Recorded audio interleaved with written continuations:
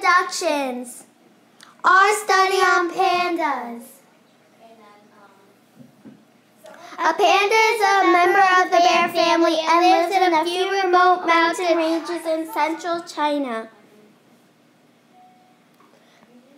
A male panda is called a boar and can weigh 175 to 250 pounds. A female panda is called a sow and can weigh 150 to 230 pounds.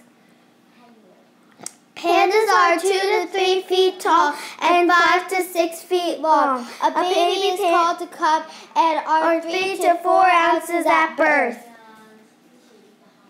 Unlike other bears, pandas do not hibernate. The, Chinese word for panda is da xiong mao, meaning giant bear cat.